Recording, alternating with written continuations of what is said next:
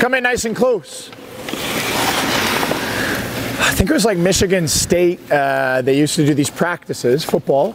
Um, and it was called Perfect Thursdays. And they'd have a practice every Thursday, and the idea was to aim for perfection.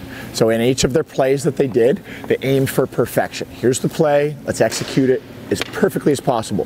Which means if someone had to receive a pass with a football and he had to like slow up in order to receive it and then go, they just started it again negate that, everyone just start again. And then they did it again so that he could receive it in stride and not have to slow down just because he was receiving it. When we make these passes, our first passes are much better. From number two, beautiful. It's tape to tape and it's hard every single time. Giving it back, eh, half the time they're good, half the time maybe inaccurate or lightly you're giving it back. Or sometimes uh, it's whatever. It's just not as good a pass as it is there. And then the second passes, we're skating through the middle.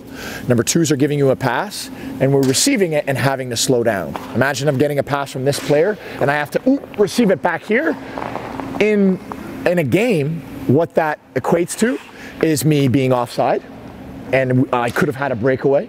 It could also mean someone's back checking me and I am on side, but I had to quickly kick it up before I received the pass and that extra little kick up, it got me out of my forward skating bullet fast stride, and the guy who was back checking me caught me. It could mean something like that. If you want to be the fastest skating team, you also have to be the best puck moving team. You can't, they, they don't, they, have to be synonymous. They have to go together. And the only reason why is if I am the fastest guy on the ice, but I get this pass and it's a crappy pass and I have to slow down, then it doesn't matter if you're the fastest guy on the ice. We have to be the best, most perfect tape to tape passers. So now I want you to pass it to a teammate. I want you to pass it to them as hard as you can.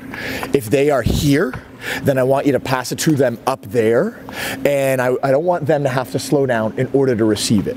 I want it on my forehand. Or I want it on my backhand. And don't make me slow down in order to receive it. This is me in stride. This is me receiving a pass in stride. This is me shooting it in stride. Everything will be faster. Okay? Let's do it again. Let's go. Aim for perfection. Adam. Rye. Come on. Yeah. Try again. Try again. If you look like this, you flex your stick, you sweep, and you point. It's going to be a good pass every time. Put some weight in your stick. Go.